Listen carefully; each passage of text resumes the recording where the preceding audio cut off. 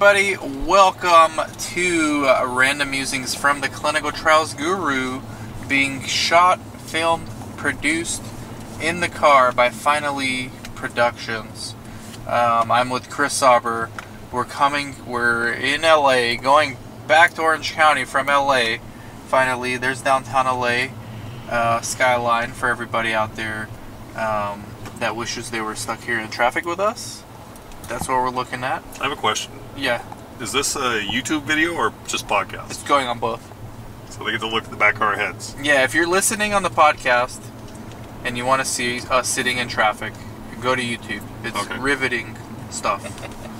um, so 197. Oh, we just came from a new clinic we're opening, and there are some um, obviously great opportunities. We already incorporated, but now we got to figure out the percentage split between us, uh, the PI, and another group who is bringing in a nurse practitioner and like a uh, what would you call Stan? I guess uh, what is he? He's pretty much coordinating everything. Oh, like project manager. Right. Okay. So now we got to figure out what's fair, and the situation is the doctor has a busy private practice, uh, but a lot of the patients he sees are not going to be patients we can necessarily enroll, so we're going to have to be enrolling from our own database. Luckily, this is a local site to us in West Hollywood.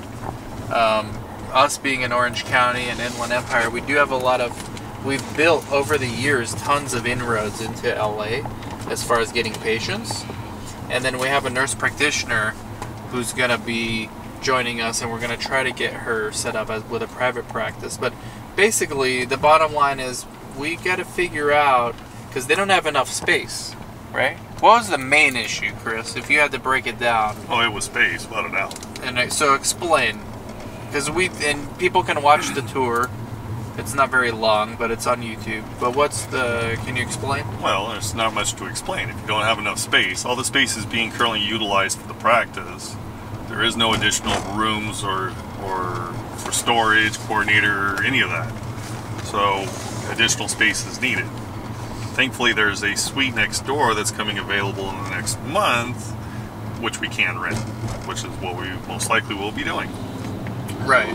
So now the question is, well, who's paying, and how is that divvied up? Because initially, when we gave the PI the equity, we assumed he's going to be paying for the office space. That's why we factored in higher percentage.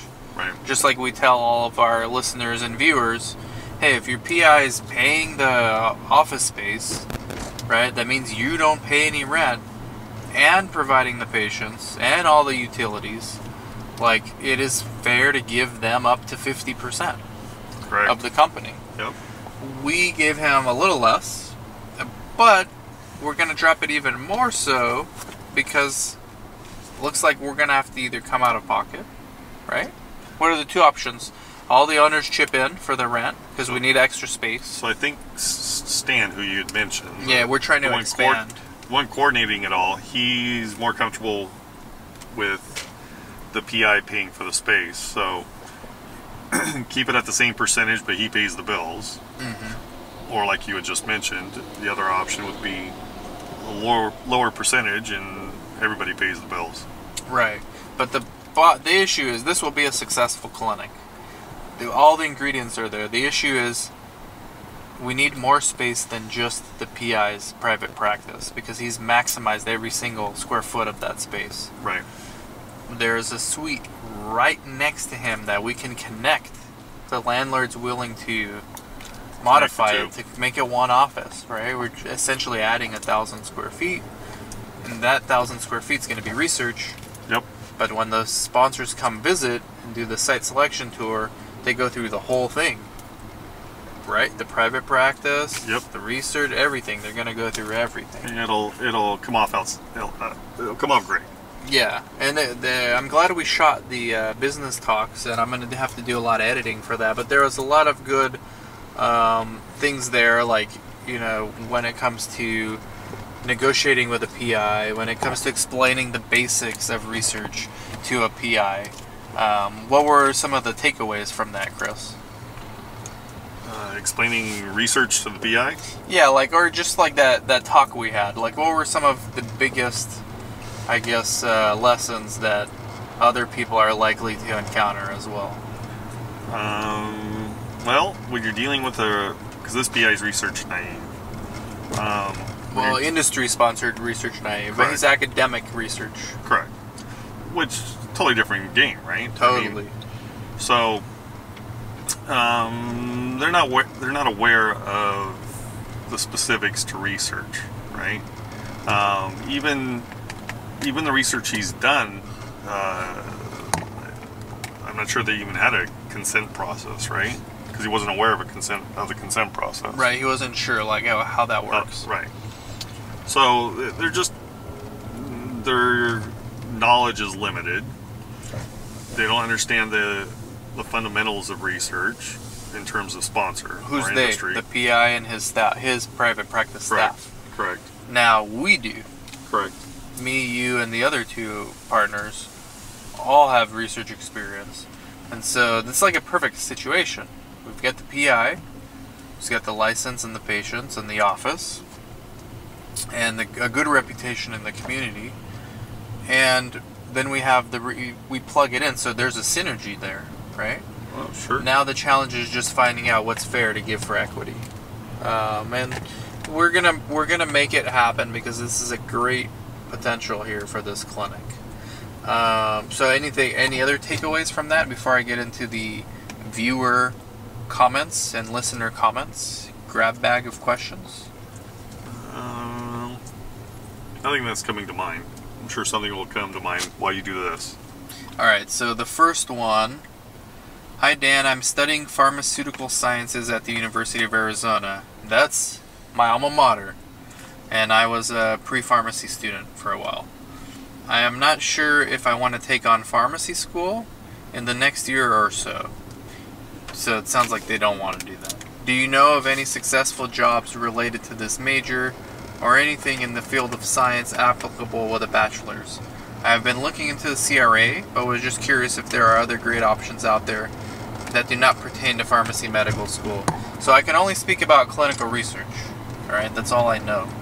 Um, study coordinator is going to be your best bet before getting into CRA. You're not going to get CRA position right off the bat.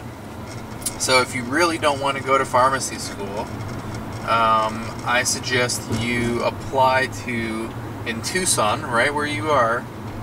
Every single research clinic that's out there has a study coordinator, and since you don't have any experience but you do have an education, provide something of value. Try to intern if you can. Like this week, try to intern.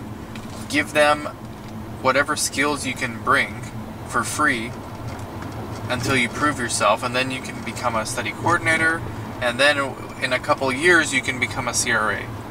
That's the roadmap I lay out for you. What do you think, Chris Sauber? Yeah, I, I think though, with his background, I assume it's him. Uh, yeah. Okay, so with his background, um, he might have a shot at being a CRA. I wouldn't depend upon that. If he's uh, completed the degree of for farm. Uh, No, he just has a bachelor's. Oh, He's not going to go to pharmacy school. uh, well then, yeah, CRC. Um, okay, so that what's the roadmap then for you? Yeah, same as you. Same Uh, exact. If he had a PharmD, no, then he could. I think he could have a shot at being a CRA st- straight away. Okay. So same exact roadmap, Chris. Yep. yep. Okay. Unless he has a PharmD. No, does not. But Bear Down, Arizona. Um, you had another uh, Issue? issue. Back to our first topic. Yeah, with, uh, uh, oops, gonna have to blank I'll that out. bleep, bleep that out. the potential PI. The potential PI. Um, so yeah, uh, one concern uh, that I think you need to be aware of um, when partnering with a PI, especially in the, in the situation in which we may be doing, um, where we're paying expenses on a on a leased building and we'll be on the lease, Um, what what happens because this happens? What happens if the PI loses interest in doing research? True. Oh, don't forget to go five south. All right. So, what happens in that situation, right? So now we're on the hook for a building and we have no PI. Right. We're on the hook for an office space. So that's one of the biggest things in.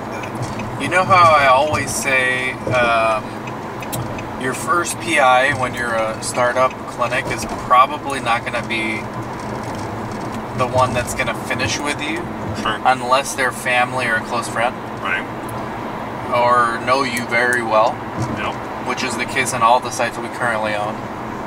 Right. Costa Mesa, San Bernardino. Um, uh, what's the other example? Um, and then this one, right? Because the the PA knows this doctor very well. They're Right. like family friends. Right. Uh, uh, five South, five South. Yeah. Myself. Uh, where are we though? Hold on, hold on, hold on. Oh yeah, your first PI. Okay. Go ahead.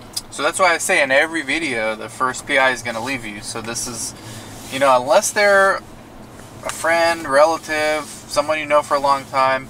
Um, but if you just randomly meet a physician and convince them to do research, you have to understand that runway is very long to get that first study.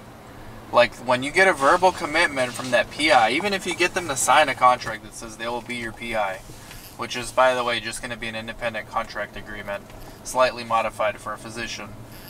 Like, if you don't get them a study right away, they're going to lose interest. And guess what? Most of the time, you're not going to get a study right away.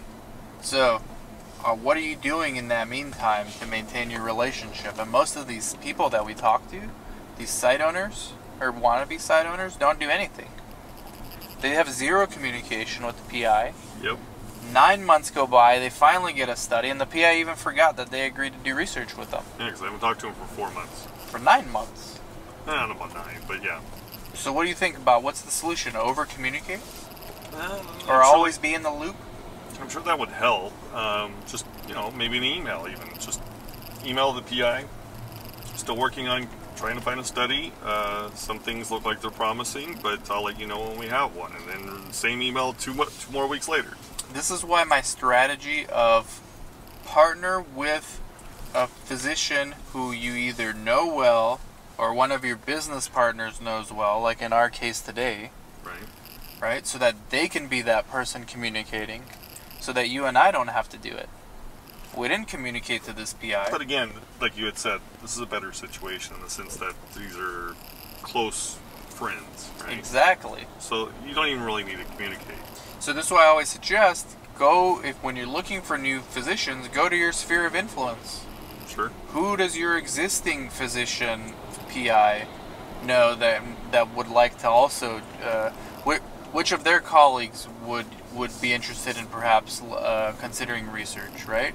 Or maybe you know a CRA. I don't know. There's people all over the place, like CRAs. Maybe you have a favorite um, site, and you know a particular sub is wanting to do this on their own, right? Mhm. Yeah.